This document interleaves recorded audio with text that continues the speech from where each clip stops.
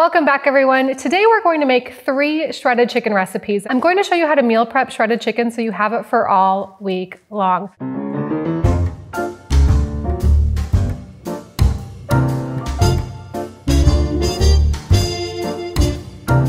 When I meal prep, I don't necessarily like to make preset meals all packed away for the week because honestly by day four, they're usually not that great. What I like to do is make a few sauces and some shredded chicken or some kind of protein, and then I can turn it into meals very easily during the week. So we're gonna make some shredded chicken tacos. I use a corn tortilla with just a little bit of oil to make it soft and lots of veggies for a super healthy taco. We have our delicious shredded chicken wrap on a whole wheat wrap with some Za'atar Greek yogurt to make it taste like it came from a restaurant. And we have our bakery style chicken salad. We've got walnuts, red onions, celery, apple, this is the kind of chicken salad sandwich that you will pay 12 or $13 for. You can make it for much less at home and it's definitely healthier. This chicken doesn't have any oil in it. It's just a really good lean protein base for anything that you wanna make during the week, especially after the holidays if you feel like you've been eating really heavy and you just wanna eat something that's simple, clean, but still delicious and with a lot of flavor. One mistake a lot of people make when they try to eat healthy is that they just eat really boring food, and that's usually why people stop trying to eat healthy. So you've got to find recipes that are full of flavor that you love that you look forward to eating. So let me show you how I meal prep this chicken for all week long. I'm gonna show you two different ways to make shredded chicken. One is in the slow cooker, the other is in the Instant Pot. You can of course roast chicken, which is delicious, but this way of making chicken it doesn't have any oil in it. So you can really turn it into anything. We just use a little bit of salt and pepper for seasoning and it keeps in the refrigerator for about four days. You can freeze shredded chicken, but it's pretty easy to make, so I like to just make it fresh. But I make it on Sunday, we'll have something that night with shredded chicken, and then I have chicken for the rest of the week to get me through for easy meal prep. We'll start with a slow cooker. You can cook any amount of chicken that you want, it's the exact same way. A pound of chicken is generally about four servings. So three to four ounces is about one serving.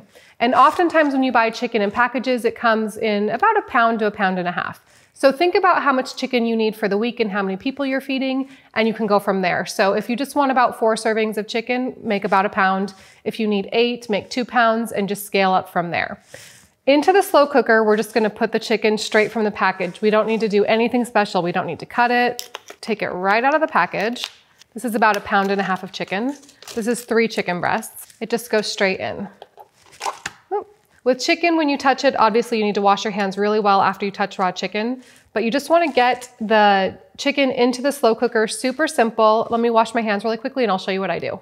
Now, again, I don't need to cut this. I'm not gonna put any oil in it. And you actually don't need a lot of water. Sometimes people put too much water into the slow cooker when they're making chicken like this, and you don't need it. So I'm just gonna really simply season this with some salt and pepper just enough to sprinkle on top of each of the chicken breasts. You can do this with chicken thighs as well. I like this just really lean protein to eat during the week, but whatever works for you.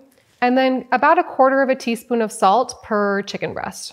So generally you want a half a teaspoon of salt per pound of meat. All right, there we go. That is as simple as that. You can add this one ingredient. You can add some apple cider vinegar or even some just plain distilled vinegar. Not enough to flavor it, but in the slow cooker, it will help tenderize it just a little bit. So you would just put about a quarter of a teaspoon of apple cider vinegar or distilled white vinegar on top of each chicken breast. I do think this tenderizes it a little bit more, but if you don't have it or you skip it, it's not a big deal. And you don't want to put so much on it that it flavors it. You don't want your chicken to taste like vinegar. Just a little bit on top of each chicken breast. And then one tablespoon of water per chicken breast. So that's about two tablespoons per pound. You really don't need a lot. Helps the slow cooker a little bit, but your chicken will give off water in a slow cooker. If you live in the desert in a really dry, arid climate, you can double that amount of water. But I live at sea level in Seattle. One tablespoon per chicken breast is great. So you'll just wanna put this on four hours on high or six hours on low. The second method is actually my favorite. I used to not like the Instant Pot, it's a pressure cooker, but the way it cooks chicken is actually great. Of course, I love a roasted chicken in the oven with crispy skin and oil. That's a great meal. For meal prep, the Instant Pot is the way to go. It's the fastest. I can have shredded chicken in about 30 minutes. You need to cook your chicken for 12 minutes on high in a pressure cooker, but it takes about 10 minutes to come up to temperature. So it's a really easy way to cook chicken in 30 minutes or less. In your Instant Pot, it came with this little wire rack. If you lost it, that's okay, but the chicken can stick to the bottom a little bit. So put your wire rack right in the bottom. And then the one thing about cooking in a pressure cooker is you need a cup of water in a pressure cooker for it to cook properly and come up to temperature. I'm not gonna use this water, it's not for the chicken. In the slow cooker I showed you, you just need a little bit of water. In an Instant Pot, you actually need one cup of water. It's not even really stock. There's no bones, there's no veggies, there's no nothing else in this. So this is not going to taste great. I get rid of the water afterwards. This just helps the chicken cook properly. And I'm intentionally not seasoning this with a lot of different things because I wanna use this in different recipes throughout the week. So if you knew you were going to have just tacos with this, you could just put the taco seasoning right in. But I'm just gonna do salt and pepper because I want to use this in different preparations during the week. And different than the slow cooker, you actually don't need to add any vinegar to this. The pressure cooking will make this actually quite tender.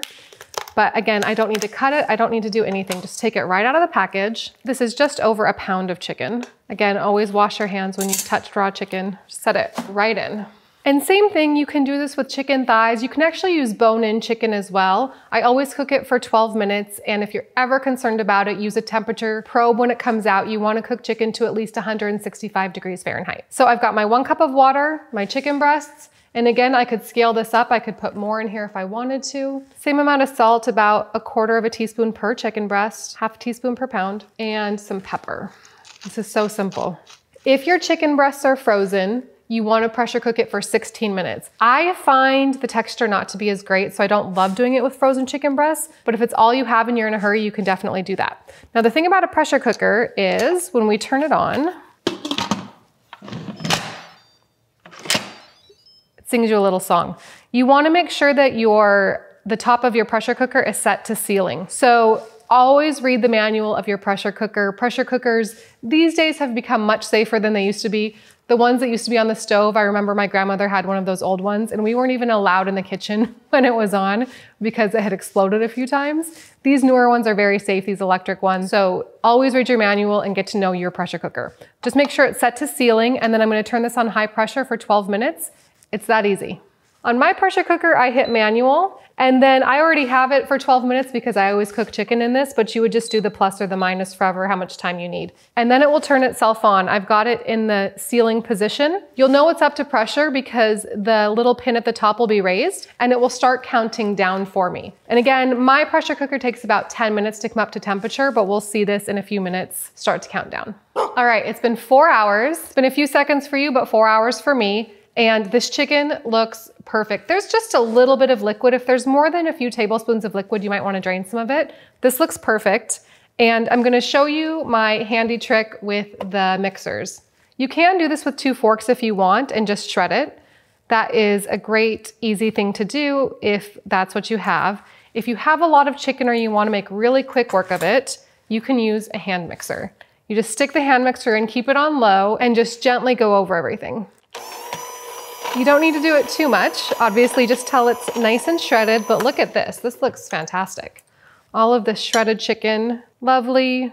You can turn this into any meal you want. Here's how my family uses this. Tonight, Sunday night, we're going to make some tacos. And then I'm going to put the rest in the refrigerator and we're gonna have chicken salad on Monday and Tuesday for lunch. And then with whatever I have left, I'm gonna turn it into some wraps other days. When I meal prep, I don't like to do containers that have necessarily four days of the exact same meal. Honestly, by Thursday, I'm like, I don't know if I want that. It's not looking as appealing. So instead of preparing the exact meals, I just like to get ahead of making the chicken, I'll chop some veggies, keep everything in the fridge, and then it makes preparing food during the week really, really simple.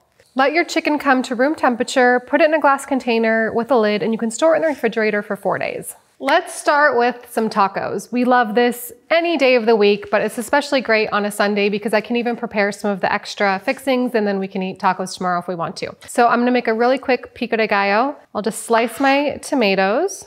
You can buy pico or you can buy salsa, but oftentimes there's some preservatives added to it or other things. It's very easy to make yourself. Just slice up about a cup of grape tomatoes or cherry tomatoes or any fresh tomatoes, Roma tomatoes, any kind of tomatoes work. I like to slice them in half and then slice those halves in half into quarters. Makes a nice size for the tacos. And you can scale this up or down depending on how many you are serving. You want about, I would say, a cup of pico de gallo per four tacos. But things don't have to be exact here. This is a great way to get lots of fresh veggies into a meal that's not necessarily a salad. So pico de gallo is tomatoes, white onion, cilantro, lime juice, salt, and sometimes jalapenos. I'm gonna make this more kid friendly, so I'm not gonna put the jalapenos in it, but if you have jalapenos or you like jalapenos, a little chopped raw jalapeno is nice as well if you like it spicy. All right, that's good on my tomatoes. Then I just want some white onion. Raw white onion is great on tacos. Even if you just did the raw onion, it's great. Some white onion, you wanna chop it pretty finely. You know, Maple's here. She thinks it's an apple. Sounds the same as an apple. All right, it goes right in. Then a handful of cilantro. If you don't like cilantro, leave it out. Just give it a rough chop. A little bit of salt. It's about a quarter of a teaspoon. And then your lime. Get a little roll to make the juice come out easier. I'm gonna put the juice of one lime in here. And I'm gonna cut my other lime up so people can put it on top of their tacos for even more if they want. This is a good amount of lime juice though. Very easy, just mix that up. This is a great little topping for your tacos. The lime juice kind of tempers the onion. It makes it just a really nice fresh veggie topping for your tacos. All right, and then I just chop up some lettuce for those of the people who like the lettuce on their tacos. Just shred the lettuce with your knife, make it small, easy peasy. All right, let's heat up some corn tortillas. I put some cheese out for people who want that. We'll heat up some corn tortillas. The thing about a corn tortilla is it doesn't really have a lot of fat in it or any fat in it. So we've got to heat it with some oil on the stove top so they don't break. So I have these little corn tortillas. Let's heat them up. You do not need to dip them in oil. This is a healthy version of a taco. You can just use a spray of avocado oil. Avocado oil is a high heat oil. It's a healthy oil. Just use a spray of this in a skillet over medium high heat. Give both sides of the tortilla a very light spray and heat them up for about three minutes on both sides until they're nice and soft. You'll end up with these really soft, nice tacos that are not overly greasy, but that also won't break on you. When it's time to heat up your chicken, preheat a skillet over medium high heat. Add as much chicken as you want for your tacos. Again, you want about a quarter of a cup per taco. About a cup will make four tacos. And you'll just wanna put about a tablespoon of water per cup into the pan to allow the chicken to warm back up and then sprinkle the top with about a quarter of a teaspoon of ground cumin. Let that gently heat through. You might wanna reduce the heat to low. Let that gently heat through and you are ready to make your tacos. So I'll just add my chicken. Everyone likes their tacos a little different. And you can of course use any tortillas that you want. However you like your tacos, this chicken makes great filling for it. I'm going to use some of my fresh veggies here on a few of them. This is how I like my tacos, just with the pico de gallo on top. I also put out some cheese and lettuce because that's how the kids like their tacos. So depending on what you like for your family or whoever you're cooking for, you can make the tacos however it will suit you. You could turn this into taco bowls, burrito bowls. There's so many different options here. You don't even have to put the chicken back in the skillet with the water and the cumin. That's just one way to heat it back up. The chicken's great as is. On the ones that I'm not going to put the pico de gallo on, I'm gonna put some lime juice on the chicken. The other ones already have some lime juice and a little bit of cheese. This is more of a American style taco and the lettuce. Really great tacos. Here's two different versions of tacos. Again, we like to do this on Sunday night and then I have my chicken for the rest of the week to make other recipes. So here's dinner tonight. I'll prepare my chicken salad tomorrow morning for lunch with the chicken.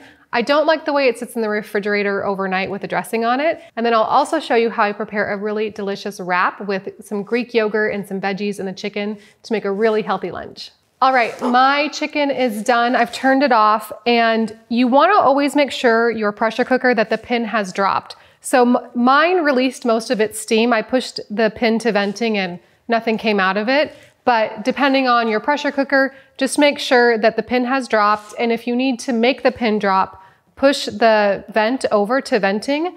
Be careful when you do that. And actually, if you end up needing to do that, I suggest that you do it with a wooden spoon. You would stand over here and push it to venting just because steam is gonna come out of that thing. You don't wanna be really close to it when steam comes out of it. So mine is done. Let's take a look. Lots of steam. Here's a fun trick a lot of people don't know. The Instant Pot lid is meant to sit, if you need it, if you need somewhere to set your lid, is meant to sit on the side. All right, you wanna leave one or two tablespoons of water just to help make sure the chicken doesn't get dry. But other than that, you can just discard this water. And then you wanna get rid of the wire rack too, of course, because we're gonna shred it right in this pot. Of course, as always, this is hot, so be very careful. We're just going to shred this up. We'll do the same way I shredded from the slow cooker. You can use two forks or you can make quick work out of it with your mixer. I like this mixer because it has this silicone bottom on the mixers. Everything I use here, I link below for you in the description. So if you wanna take a look at this, you can get this one too. Let's just stick this in here. Again, do it on low. You don't wanna overmix it. We're not trying to puree it or pulverize it to the point that it's not appealing. Just, it's an easy way to shred it. Of course, normally I don't usually use the Instant Pot and the slow cooker. I wanted to show you both. So let me add this chicken to this bowl. This will keep for about four days in the refrigerator. So I'll use some tonight and the rest during the week. Let this cool off. This is steaming right now. Let this come to room temperature. Put a lid on it and put it in your refrigerator. Next up, we're gonna make a wrap that tastes like one of those 12 or $15 wraps you get at a restaurant or at a store but for a much lower price, you can buy all of the ingredients and make five or six of those at home. Plus, you know what's going into your food. So I've got a whole wheat tortilla here. You can use any wrap you want. And I have some whole milk Greek yogurt. This is 5% fat Greek yogurt. I like the full fat Greek yogurt. You need some good fat in your diet. To this, I'm gonna add some za'atar. Za'atar is a blend of spices, mostly thyme and sesame seeds. Sometimes oregano and some other things are in it, but it makes a great mix in for your Greek yogurt. For a half a cup of Greek yogurt, you wanna put about a teaspoon of za'atar, half a teaspoon to a teaspoon. All za'atar blends are different, so you can kind of find one that you like. Mix that together and it just adds a really nice flavor. There's two sauces in this wrap and that's what makes it taste like it came from a cafe or a restaurant. So you'll spread some of that down on the bottom and then put some of your chicken right on top. And again, our chicken just has salt and pepper on it, so it's a really simple chicken. That's why we're adding two different sauces to this. And depending on what you wanna do for the week, you could mix up your yogurt with za'atar. This will keep for four days in the refrigerator. I don't like to pre-make all of my wraps because the wrap after two or three days in the fridge, it's not gonna be great. I just like to have the sauces mixed up so I can put this together really, really quickly. If I've made my chicken, I've made my sauces, I'm good to go for the week. For the greens, I'm actually going to make a really quick vinaigrette. We'll do three tablespoons of olive oil. These little jars have a handy measuring on the side. Whoa, that's a lot. Three tablespoons of olive oil, a tablespoon of red wine vinegar. This is like a sweet red wine vinaigrette. It's really good. And then just a pinch of salt and pepper. It's like an eighth of a teaspoon. Again, I wanna make four of these this week, so I, don't, I just need about four tablespoons of dressing for the week. I don't need more than that. Some pepper in there. All right, and then a teaspoon of honey. You could also use white sugar if you prefer, but I like to use the honey. Having this little bit of a sweet vinaigrette on the greens inside of your wrap is the trick to making it taste like it came from a restaurant. So this is the quick and easy way. Shake it up. It's not a technical emulsion. It will separate. You're gonna have to reshake it. It's just an easy way to make it really quickly. Here we go. There's our little vinaigrette. Take a handful of greens, just a small handful to fit on top. Put a little bit of your dressing on top teaspoon to a tablespoon. Mix it with your hands. It's okay to get your hands dirty. You could do this in a bowl if you want to. I don't want to get a bowl dirty. Mix this up with clean hands. Put that right on top. If it looks like it's going to be hard to eat, just chop them up a little bit. I should have done that before I put the dressing on. That's okay. And then I'm going to slice up some tomatoes, cucumber, and red onion. This is a really easy way to eat healthy with delicious food. You're getting lots of veggies in. You don't have to eat boring salads to be healthy. Eat some really good food there. I'm actually gonna use, you can use your knife. I'm gonna make quick work of my veggies with my mandolin slicer. I'm gonna set it on two. Be very careful with this. I've told you guys many times, I cut myself with one of these a long time ago. The veggies I would prepare depending on how many of these I wanna make. And I would just put these in a container in the refrigerator. Again, I'm not gonna prepare four wraps because in a few days, these aren't gonna be great. But everything will prepare individually really easily.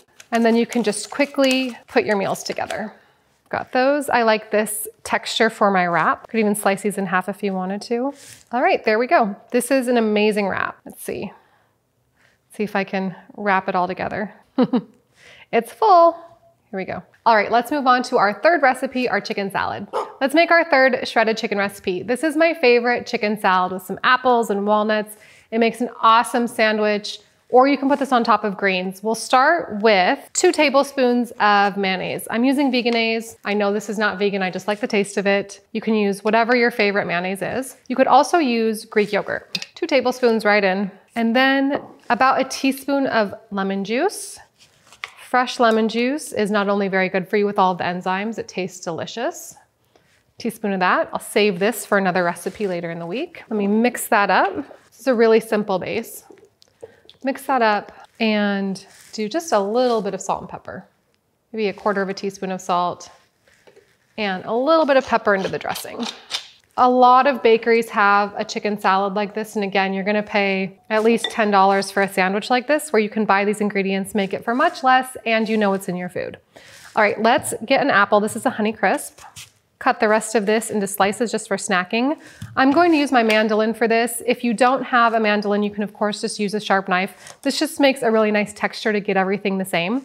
So I'm gonna set mine to two. These are great. I'll link to this in the description below and everything I use here, I'll link to these in the description. On two, let me just show you actually what these look like. So if you go on one, the setting for one, put your apple down, use your guard, have your mandolin down and go straight down. You're gonna get a really thin slice. It's almost too thin to slice this apple. On two, you're gonna get these really nice slices. And on three, they'll just be a little bit thicker. Use the guard. I've told you guys I cut myself pretty bad on one of these ones. They're a little bit thicker on three. So for this salad, I actually am gonna keep it on three. I'll put my apple down. These ones that are broken, little chef's treat. So this is to make two servings, two tablespoons of mayo, a teaspoon of lemon juice. I'm gonna use a cup of chicken and about a quarter of an apple. So I have my apple sliced thin and then I'll stack them up like this. And then I'll go straight down. This just makes a really nice texture in your salad. You have these kind of little matchsticks. Really nice little texture. So put those into the bowl. I'm also going to use this, I'm gonna put this back on too and use this to slice my celery. You do one rib of celery. One rib of celery, and I like to first cut it on a diagonal and then go straight in. As you start to get close to the end, keep your fingers back. And if you're not using the guard, don't try and get too close. Leave the last few inches if you're not using the guard. It's not worth cutting yourself. All right, that's about a quarter of a cup of celery or one celery rib right in. Same with the onion. I'm gonna cut the onion the same way I cut the apple. I really like the onion on the mandolin. And since I'm getting it out, I'll just do the rest of the veggies on it. This makes great slices. And then I'll just put these in a container and I can use them on salads or wraps or anything else this week. All right, it's about a quarter of a cup of red onions. And then I've got a quarter of a cup of walnuts. Almonds are good here, sliced almonds or slivered almonds. These, some of these walnuts are still whole, so I'm just gonna give them a really quick chop. I just buy the walnut pieces. Walnuts are incredibly good for you. They're good for your brain health. They're full of healthy fats. Very good for you. About a quarter of a cup to a third of a cup of walnuts. Then let's add a cup of chicken. You can adjust all of these measurements to your taste, to however you like your chicken salad. This is gonna go back in the refrigerator for more recipes later this week. Let's mix this up. I almost forgot the raisins. We need a quarter of a cup of raisins. Currants are also nice, but just good old raisins. This is a classic chicken salad. The raisins that you keep around for snacks or for baking or for whatever you keep raisins around for. If you don't have apple, uh, grape is a good substitution, some sliced grapes. All right, this looks awesome. I have some whole grain bread. I like this nutty, seedy, grainy bread. It has a lot of fiber in it. Very healthy whole wheat bread. And this already has some mayo in it, so I'm not gonna put any down. If you feel like you need some more mayo, you can put some down. This is just a classic healthy chicken salad. What I like about recipes like this is that it's not boring. right? This is like a very healthy meal that is not boring. Sometimes when people try to eat healthy, they just start eating really plain, boring food, and that's why they don't stick with it. You've got to find recipes that you think are delicious, that you look forward to eating, that you love. This is one of them. I love this. There's a famous bakery that is in most cities that has a salad very similar to this, a chicken salad sandwich very similar to this. I think it tastes better when you make it at home and it is definitely healthier. All right, let's put the top on that. Again, I wouldn't prepare four of these because it's gonna get soggy in the refrigerator. But if you have this prepared, this will be great tomorrow. This is, with the mayo, I'd say good for about two or three days. Four days would be stretching it. Slice this open. Beautiful. This looks so good. All right, better try it. Make sure it's good. Mmm. Perfect. Try it. Looks so good.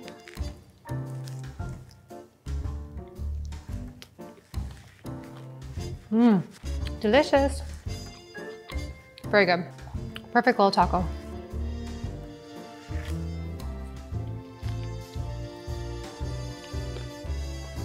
Mmm. This is so good and it's healthy and everything was prepared in advance. I've got my chicken, I've got my sauces made, and now I can just throw it together in the morning or right before lunch. There you have it. Three awesome shredded chicken meals. We made great, healthy shredded chicken tacos. We made a fantastic shredded chicken wrap with that za'atar Greek yogurt. And we made our chicken salad that is perfect for lunch any day of the week. If you like recipes like this, make sure you like this video and subscribe to the channel to come back every week for more videos for healthy meal prep.